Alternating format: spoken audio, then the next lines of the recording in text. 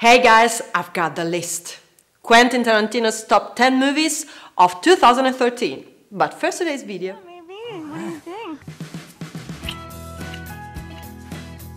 I want to move in together. No! I've got it. We're gonna have a bachelor party. I'm talking about a bachelor party so awesome and so epic. You're gonna stay a bachelor.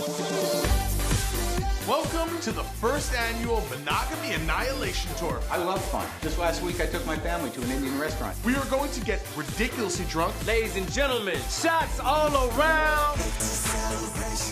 We're gonna fight bears who are holding weapons. Guys, there's been a big misunderstanding. He doesn't want to fight. And we're gonna have unprotected sex with women. No, don't worry about it. I'm gonna bone these two losers. Look these white dudes. Focus up, y'all. Where exactly are we going? Who the hell threw a drink at Metta, yo?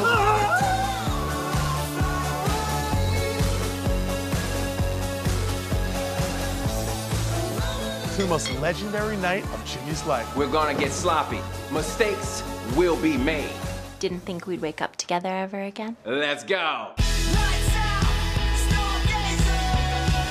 Come make music with me, Stan. Shut up, bozo. Got a fondue set? I bet you do.